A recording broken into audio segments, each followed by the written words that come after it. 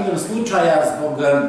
manjka sredstava i kompletnom situacijom sa COVID-om, Narodno pozorište Pirot je ove godine sav svoj novac u produkcijski usmerilo na ove predstave za odrasle. E, obzirom da mi nismo imali dečiju predstavu, to je zajednica e,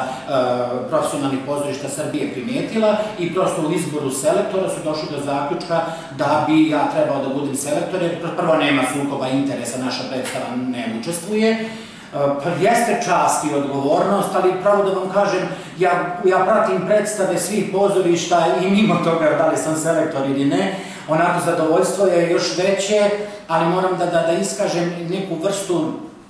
tuge, jer mislim da je ovaj COVID doneo opet onu situaciju koja nam se dešavala pre 15 godina, da se vrlo malo ulagalo u dečije pozorište. I to ću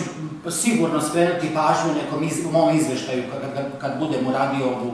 selekciju, da se nekako pozorišta moraju vratiti, e, deca su naša buduća publika i moraju se vratiti na to da se u dečije pozorište ipak malo više sredstava ulaže, jer e, deca su nekako najvernija publika i mislim da, da im treba pružiti to zadovoljstvo spektakla. Spektakl za, za odrasle nije kao i spektakl za decu, ali opet ne trebamo, ne trebamo ići ispod nekog nivoa. Zadovoljstvo, čast, velika, pa vidjet ćemo kako će se završiti. Nadam se da ljutih neće biti.